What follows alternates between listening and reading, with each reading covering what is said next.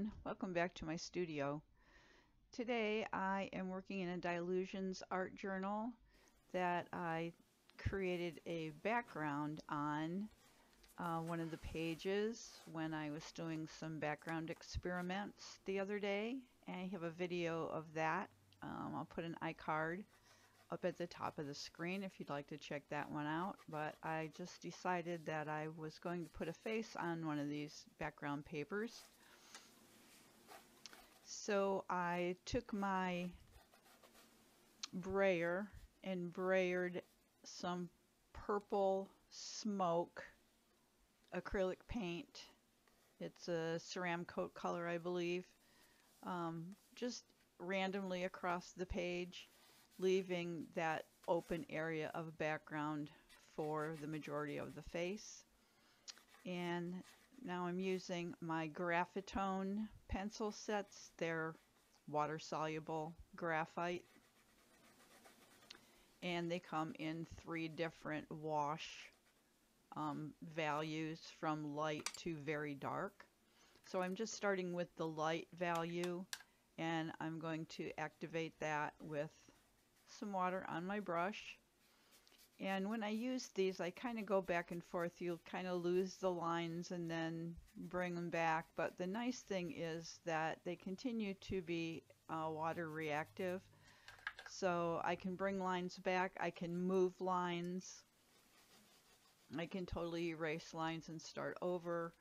So as you can see, I will in a minute, but as you can see, that left side of her head is a little too wide. So I will correct that here before long. So yeah, I'm just doing the majority of the face with the Graphitone pencils. And then in the end, I bring in just a little bit of white charcoal, a little bit of acrylic paint, mostly in the eye area. And then just for the eye highlight, I use a white Posca pen. So I am just going to leave you with some music until the end of this, and I hope you just enjoy watching the process. If you haven't tried water-soluble graphite and you like drawing, they're definitely worth trying. They're a lot of fun. You can do a lot of things with them, from light washes to dark washes, whatever you want. Bend them to your will. Okay, enjoy the process.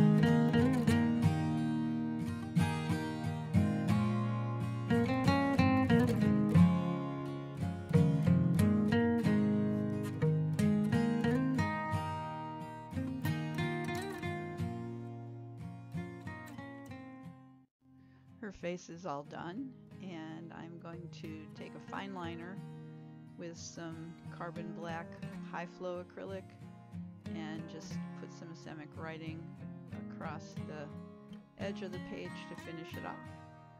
I hope you enjoyed watching the process of creating this girl on this cool background. Um, two colors basically, the purple and the orange and then for her hair I mixed some white with the purple. So if you like this video, give it a thumbs up. And in the meantime, go make some art. Bye.